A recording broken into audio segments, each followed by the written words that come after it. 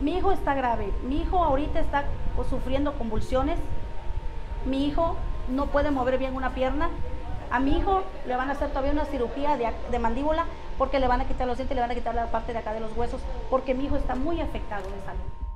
A un mes de la golpiza que propinaron empleados del bar La Palapa de mi mamá, una familia que llegó a divertirse, todavía no han habido responsables por este hecho que dejó entre la vida y la muerte a un joven. Laura Carpio denunció públicamente el hecho, que comenzó cuando su hijo le reclamó a personal del bar por su presencia en el baño de mujeres, donde estaba su hermana con su sobrina. Personas, estamos hablando como de 15 personas, o sea, casi todos los meseros se vinieron en contra de mi hijo. ¿Sí? Pegándole, ¿sí? diciéndole que se retirara de ahí, que ahí no había nadie en el baño. Cuando nos percatamos del señor, el señor Carlos, perdón, se percata que le están pegando a mi hijo, volteamos y vemos que se levanta él a ver si al verlos los, se podía separar. No, sino que ya llegó otro mesero y agrede al señor Carlos con una silla dándole la espalda al grado de tirarlo. Además de la golpiza que le propinaron a su hijo, recordó que dentro de la lista de delitos que se cometieron está el de privación ilegal de la libertad, toda vez que los retuvieron. Estuvieron retenidas ahí adentro del establecimiento en el secuestrados, porque no se puede llamar otra cosa. ¿sí? Lo de nosotros fue un secuestro de dos horas. Lo de mi hija, ¿cómo lo puedo llamar?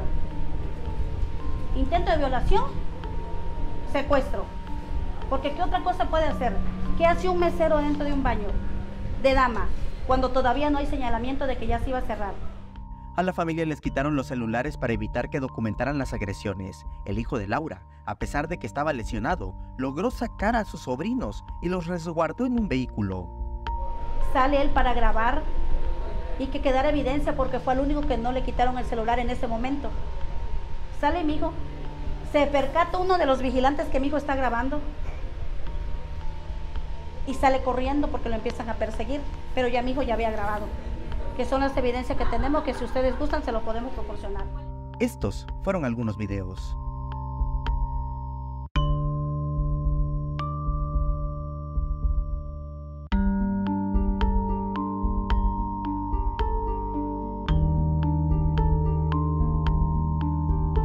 A pesar del hecho, el bar que continúa abierto no ha tenido ningún tipo de responsabilidad.